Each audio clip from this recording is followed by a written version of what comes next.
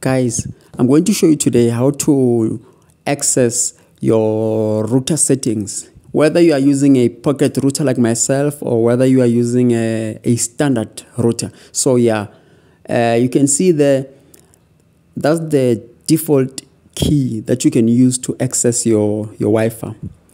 Yeah, then we're gonna use an IP address. So you're gonna need to know your IP address. My IP address is located inside, so I had to remove the battery there.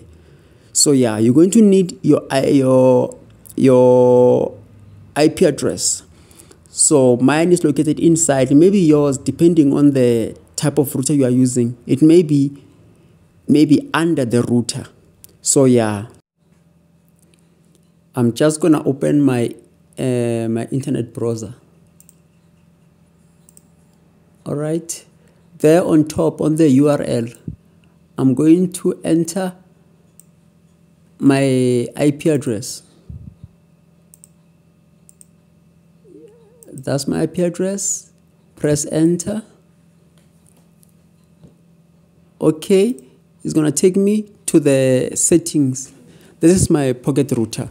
All right so usually when you buy a pocket router the password for to exit the settings is usually admin. So the password is admin, the username is admin. So if you are asked a password and a username, you just enter admin with small letters.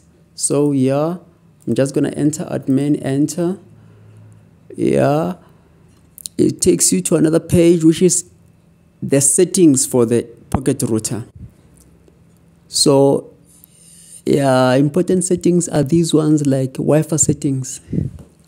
Wi-Fi settings is the name of your Wi-Fi. You can rename your Wi-Fi. You can rename your password, the password that you are going to use to log in to your to your network, to your Wi-Fi.